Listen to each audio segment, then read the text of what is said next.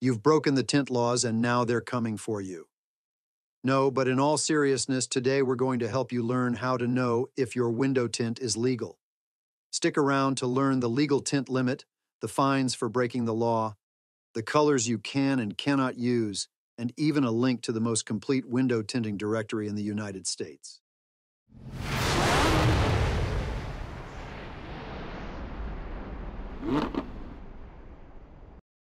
Alabama's tinting laws, established in 1996, offer a detailed framework for vehicle window tinting, balancing safety and personal preferences.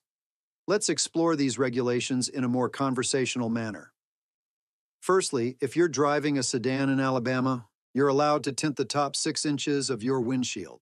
This rule is there to ensure you have clear visibility, which is crucial for safe driving. Moving on to the front side windows. The law is quite specific here. These windows must let in over 32% of light. It's a safety measure, really, to make sure drivers can see well and also to allow law enforcement to see inside the vehicle. Now, when it comes to the backside and rear windshield, Alabama allows 32% darkness for these windows. This flexibility is great for added privacy and protection from the sun, especially in the sunny parts of the state. Interestingly, the laws apply to multi-purpose vehicles as well. So if you're driving an SUV, the top six inches of the windshield can be tinted. The front side windows must allow over 32% light transmission, and you're free to choose any tint darkness for the backside and rear windows.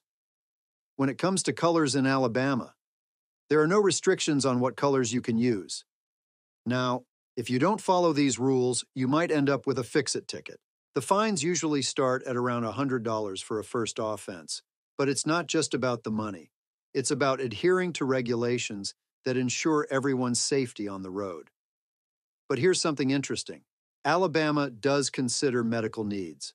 If you're looking to get a medical exemption, myeyerx.net can help assist you to acquire an exemption just over a simple Zoom call. You can find them in a link down below.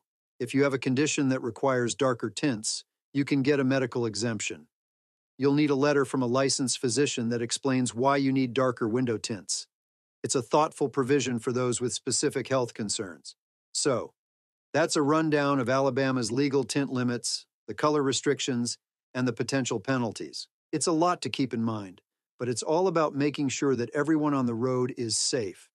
If you need more detailed information, don't hesitate to check out the link provided.